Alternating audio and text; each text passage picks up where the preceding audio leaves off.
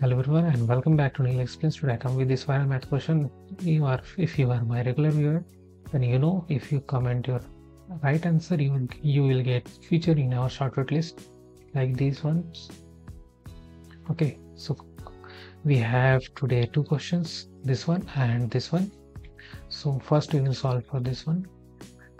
What we have, if you think like 8 minus 2 and 8 minus 2 and 8 minus 2 that is 6 into 8 minus 2 that is 6 and the answer is 36 then you are wrong.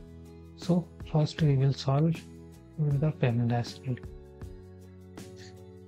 so in the PEMDAS we have first do parenthesis this part.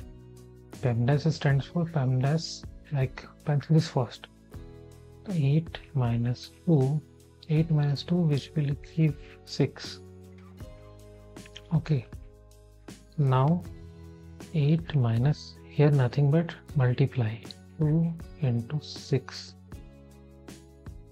8 6 times 2 that is 12 or when we minus 8 minus 12 that is give minus 4 so here minus 4 is the right answer. Coming to the next question. So try to like this is minus 1 minus 1 by 2 like this. 1 plus 1 by 2 okay don't confuse here. So try to solve by your own. And comment your answer. I will solve step by step with the help of PEMDAS.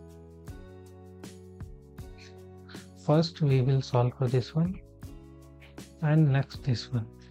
1 minus 1 by 2 like 1 minus 1 by 2 which can be a calcium 2 minus 1 that is 1 by 2 simply you can understand 1 by 2 is nothing but 1 0.5 and this is 0.5 or 1 by 2 so here 1 by 2 and 1 plus 1 by 2 that is 1 plus 1 by 2 so we will take LCM 2 2 times 1 that is 2 plus 1 that is 3 by 2 so here nothing but 3 by 2 to the whole square.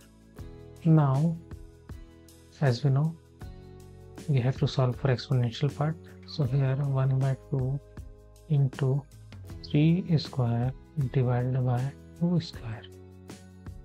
Now 1 by 2 into we will write like 3 into 3 divided by 2 into 2 so what we have? 3 times 3 that is equal to 9 and 22 that is 4 and 4 into 2 that is 8 so here 9 by 8 will be the right answer. So if you want to solve more maths like this then subscribe our channel and watch these videos. Thanks for watching